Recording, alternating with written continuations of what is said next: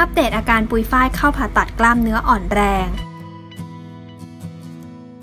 สำหรับวันนี้เราจะมาพูดถึงนางสาวคนสวยคนนึงค่ะ เป็นนางเอกสาวนะคะ รวมถึงเป็นนักแสดงพิธีกรค่ะ สาวปุ๋ยฝ้ายนัทพัฒน์วีรพัฒน์เดชตระกูลค่ะ สาวสวยอารมณ์ดีที่เป็นขวัญใจของเหล่าบรรดาหนุ่มๆเลยก็ว่าได้ค่ะ เธอนั้นมีผลงานในวงการบันเทิงมากมายที่สำคัญนะคะ ความสามารถและความอารมณ์ดีของเธอนั้นยังคลองใจหลายๆ คนด้วยแหละค่ะ และล่าสุดนะคะ สาวปุ๋ยฝ้าย AF หรือปุ๋ยฝ้ายนัทพัฒน์ พัทรเดชตระกูลค่ะ ที่ล่าสุดเธอนั้นได้โพสต์ภาพที่โรงพยาบาลพร้อมกับแจ้งข่าวว่า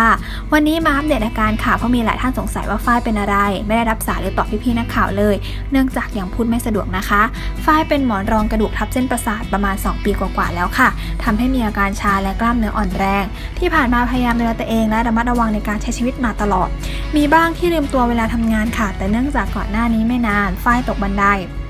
ศีรษะฟาดซ้ำไปอีก เลยทำให้อาการสุดลงกล้ามเนื้ออ่อนแรงเขียนหนังสือก็ไม่ได้ คุณหมอพิจารณาแล้วว่าไม่ได้แล้ว ไม่อย่างนั้นจะแย่กว่านี้ เลยได้มีการผ่าตัดให้ฝ้ายเรียบร้อยค่ะ กราบขอบพระคุณ คุณหมอ